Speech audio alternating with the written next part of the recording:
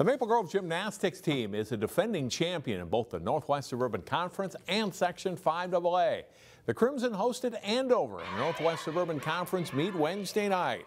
Crimson start on the vault. Sasha Thompson sticks her landing for a 9.15 score. She later finished second on the balance beam.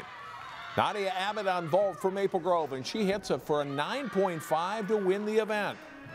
Balance beam, a good routine by Grove's Lillian Bonstetter, scoring an 8.925. That's good for first place. To the uneven bars, Abid impressive again, earning a 9.175 mark. She wins the bars and the all-around for the meet. And on floor, Thompson is the high scorer for the Crimson with a 9.4. Maple Grove goes on to win the meet with a team score of 137.7 to 124.325 for Andover. The Crimson are 3-0 in the conference so far this season. Find more prep sports games and highlights at ccxmedia.org and follow us on social media.